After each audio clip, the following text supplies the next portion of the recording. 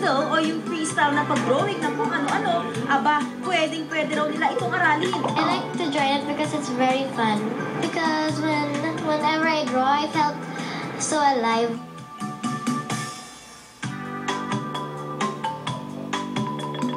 Ang drawing na akala mo'y sa likod lang ng notebook pwedeng gawin, heto at pwede palang maging sining. pinaka ma- matutulong ng ano, doodling ay yung nga, parang encour- encourages kids na to start from somewhere. Kasi parang hindi nila matatap yung creativity. yung creativity nila. Kaya sa mga chikiting, di na kailangan pang mainip, makisabay sa iba pang kapwa kids at matuto ngayong tag-init. Para sa saksi, Day Alves, nag-uulat. Kung nasa ng balita, ikaw at ang